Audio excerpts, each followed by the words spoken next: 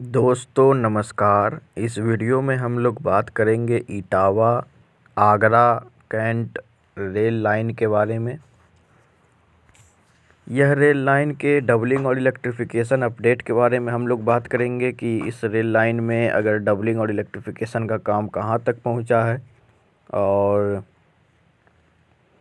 यह rail line के बारे में क्यों रेलवे ने आज तक उतना ध्यान नहीं दिया, सब कुछ बात करेंगे। तो सबसे पहले मैं आपको बता दूँ कि इटावा आगरा रेल लाइन उत्तर प्रदेश के पश्चिमी भाग में पड़ता है। और यह रेल लाइन इटावा से डीजल लाइन है, जहाँ पर से अभी तत्काल कोरोना काल में सिर्फ़ एक ही ट्रेन चल रही है, जो कि Ghazipur city Bandra terminus express है, जो कि सुबह सुबह इटावा से आगरा के लिए रवाना होती है।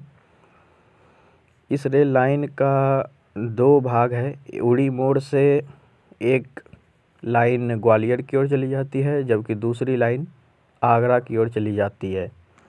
तो इस वीडियो में हम लोग इटावा आगरा रेल लाइन के बारे में बात कर रहे हैं। यह रेल लाइन एक डीजल लाइन है और डबल लाइन भी नहीं है, एक सिंगल लाइन है। इस लाइन की स्पीड लिमिट भी बहुत अधिक नहीं है। Only fifty to seventy kilometre per hour permissible speed है इस रेल सेक्शन की। इटावा आगरा रेल लाइन जो है, ये बहुत ही फ़ायदेमंद रेल लाइन है। क्योंकि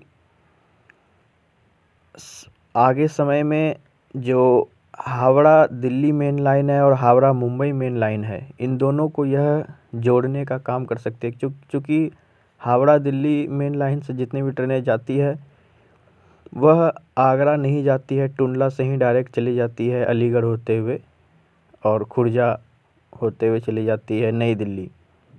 तो आगरा इस क्रम में छूट जाता है बीच में ही और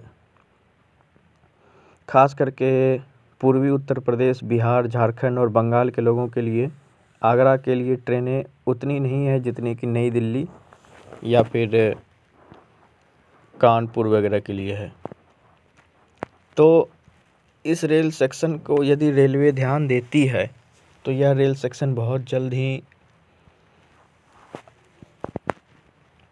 एक मुनाफे का सौदा होगा रेलवे के लिए और इससे क्या होगा कि बिना इंजन चेंज किए ट्रेनें जो है वो आगरा टच करते हुए दिल्ली की ओर चली जाएँगी और हावड़ा दिल्ली मुंबई, हावड़ा दिल्ली मेन लाइन और हावड़ा मुंबई मेन लाइन दोनों जुड़ जाएगा और आगरा बहुत ही मेन बन जाएगा। क्योंकि आगरा ताजमहल के लिहाज से भी बहुत इम्पोर्टेंट है, बहुत सारे पर्यटक जाते हैं वहाँ घूमने के लिए। तो इससे उत्तर प्रदेश सरकार और केंद्र सरकार और रेलवे सभी को फ़ायदा होगा।